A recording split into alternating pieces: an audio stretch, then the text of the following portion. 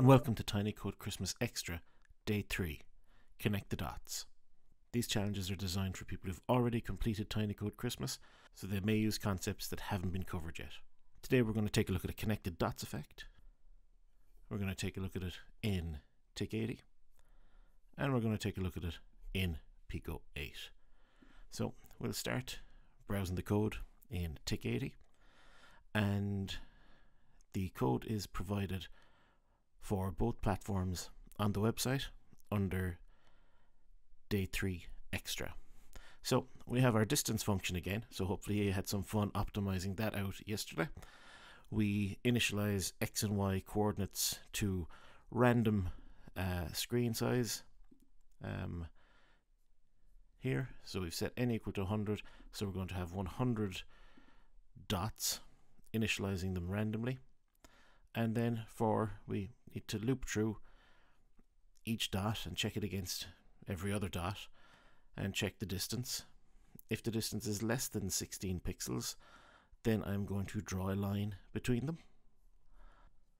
I am then going to draw a circle and then I'm going to move the x and y coordinates by a fraction of i. So this means that they'll all move at a different speed based on their position in the array. And that works pretty well to give us a bit of variety in terms of the speed.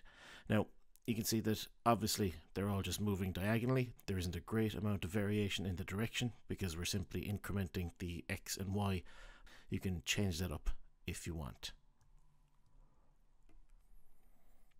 So it's pretty much the same story over here in Pico 8 we have reduced the number just because the screen looked a bit crowded.